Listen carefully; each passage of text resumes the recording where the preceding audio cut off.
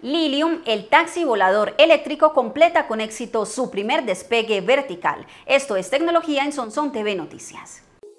La siguiente sección es patrocinada por Celumax, oficina autorizada por Claro. Le ofrece facturas, financiamiento de equipos con los mejores precios del municipio, descuentos en todas las marcas y mucho más. Estamos ubicados en la carrera sexta, número 1018, antes de la bomba de gasolina.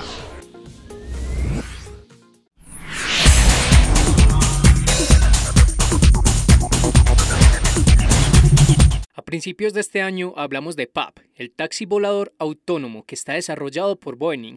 Había logrado con éxito su primer vuelo de prueba.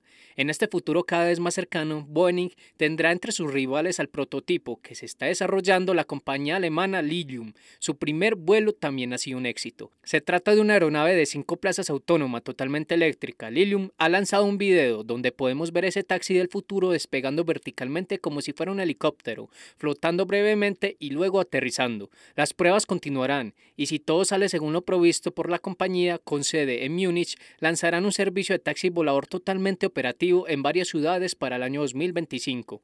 Entre sus capacidades, el denominado Lilium Jet destaca por tener una cabina con forma de huevo, posada en un tren de aterrizaje con un par de alas de rotor de inclinación asimétricas y paralelas. Cada ala está equipada a su vez con un total de 36 motores a reacción eléctricos que se inclinan hacia arriba para el despegue vertical y luego se desplazan hacia adelante para el vuelo horizontal. Lilium explica que una vez completadas todas las fases de la aeronave tendrá un alcance de 300 kilómetros y una velocidad máxima de 300 kilómetros por hora.